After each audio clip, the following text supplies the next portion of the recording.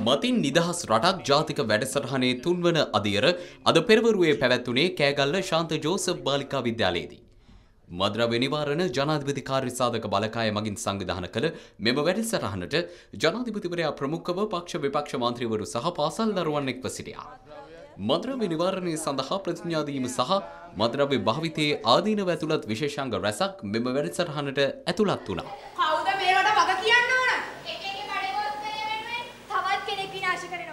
මම ජනාධිපතිවර විදියට ලෑස්ති එක අතකින් නෙවෙයි අත් දෙකම උස්සලා සම්පූර්ණයෙන්ම මත්ද්‍රව්‍ය අලවිය විකිණීම ලයිසන් ඔක්කොම අවලං කරන්න මම ලෑස්ති.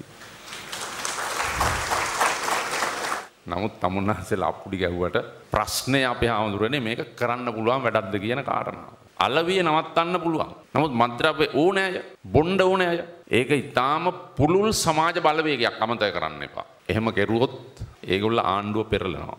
ඒක අනිවාර්යෙන් සිද්ධ වෙනවා. ඒ වැඩේ කරන්න ඕන ආණ්ඩුව පෙරලනවයි කියන එක බලාගන්න.